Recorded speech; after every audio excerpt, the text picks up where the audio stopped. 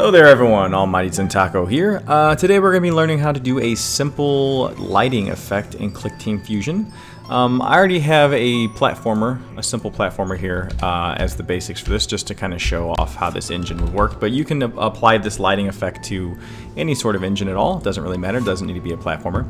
So the first thing you need to do is click on this layers toolbar, we're going to need to add a new layer.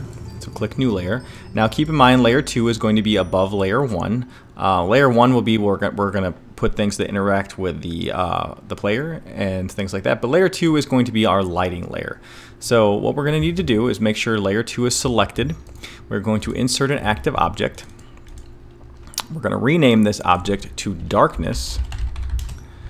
And we are going to change this to a white block. Now you would think this should be black, but it needs to be white because we're going to be doing a, sub a subtraction. So go ahead and throw this at the top left, and we're going to resize this. Whoops, we're going to need to resize this to be the size of our viewport. We want it to cover the screen at all times.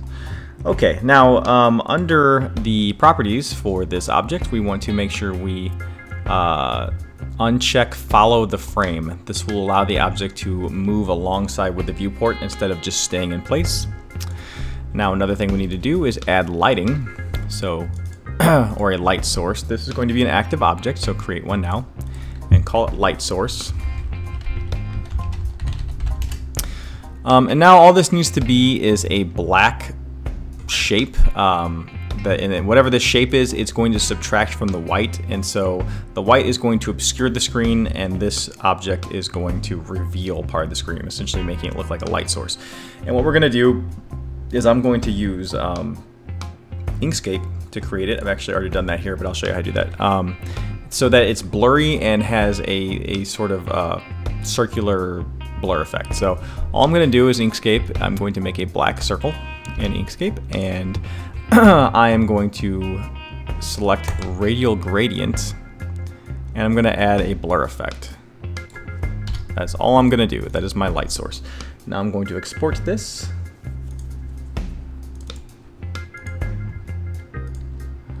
Okay. Now I'm going to import that graphic. But yeah, if you make it a gradient, it looks a lot better. If you just have a, a, a solid circle, uh, the light will go so far and then it'll simply just stop. Okay, now this light source, no, that's actually pretty good. That's a pretty good size. um, all right, so now to make this work, we need to uh, uh, mess with the layer property. So click on layer two, and we're gonna go under effects, and where it says none, select edit, under standard, select subtract. Now that should have worked basically. Let's find out. Yep. Okay, so now we have a, a area that's lit and an area that's not. But we're gonna do some more stuff to make this look a little bit better. I'm actually gonna shrink this a tad. Okay, first thing we're gonna do is I want the darkness to be semi-transparent, not fully opaque. So I'm going to add a value and name it trans.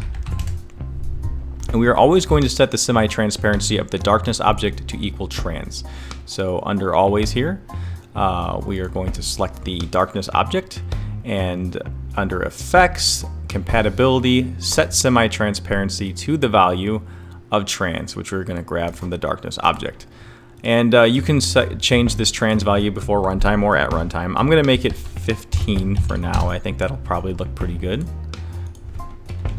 Yeah, I'm liking that. Okay, now uh, light sources have to come from somewhere, so we're going to create a graphic to represent our light bulb.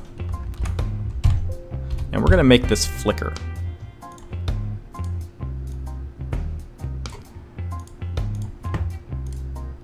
So all we need to do is make sure this is at the center there. Uh, now we're going to do a flicker effect. So what we're going to do is um, we're gonna we're gonna toggle an internal flag, and whenever that flag is off, we're going to uh, make the object visible, and when it's on, we're gonna make it invisible, or vice versa. It doesn't really matter. So click on our light source, and we're going to say if the flag is on, and that's flag zero, uh, we are going to make this under visibility, we're going to select make object reappear, which will make it visible if it's invisible, and it'll do nothing if it already is visible.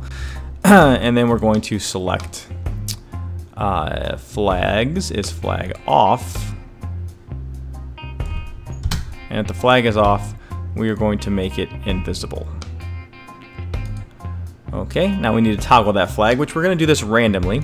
So we're going to select under the special objects, there's something called X out of Y at random. We're going to say 1 out of 5, not 1 point, 1 out of 5. And when that happens, we are going to toggle this flag. So now this should flicker pretty good. Alright. Not too bad. Uh, okay, so I think we can make this look a little bit better though. We're going to do a smooth transform to expand this whenever it turns back on to make it bloom. So if you don't know about this, uh, we are going to need to use something called a tween effect, and I have a tutorial on that, so you should look that up now, because that's a little more in-depth than this, but um, I'm just going to fill this in real quick without much, much explanation. So I'm going to need some variables on my light source. I'm going to need four variables. We're going to need a x scalar, a y scalar, a target x scalar, and a target y scalar. And we're going to set all these to 1 by default. Okay. Um, Alright, so now we need to have a new always event, and we are going to transform this always. So First, we want to always set the scale, the x scale of our light source to be the value of x scalar. And we want to set, uh, make sure you select 1 for maximum quality. And we want to do the same uh, thing for the y. So always set the y scale to the value of y scalar.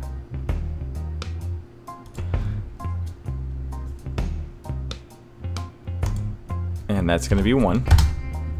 Now we need to, tra uh, to transition these smoothly, so we are going to always set the alterable value of x scalar to be the value of x scalar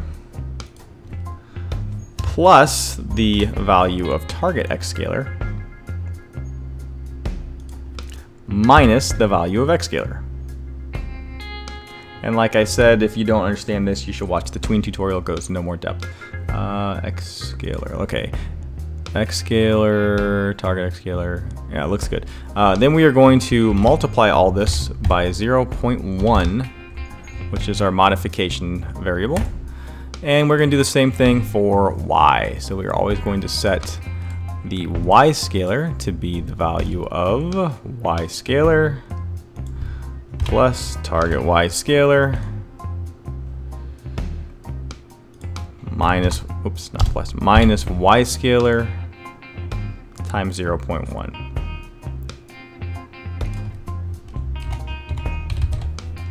And let me double check this, make sure everything looks good. Set x scalar to x scalar plus target x scalar minus x scalar 0.1. Set y scalar to y scalar plus target y scalar minus y scalar times 0.1. Okay, perfect. Now what we're gonna do is whenever this flag is on, when it's reappearing, we are going to set the uh, alterable value of target x scalar and target y scalar, which is the, the size that we want this to smoothly transition to. We're going to set that to 1 for both of those values.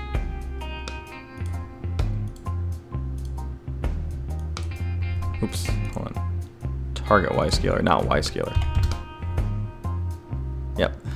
Target X and target Y are both set to 1. And whenever it's off, we're going to make it smaller. So we're going to set the, the target value to um, 0.5.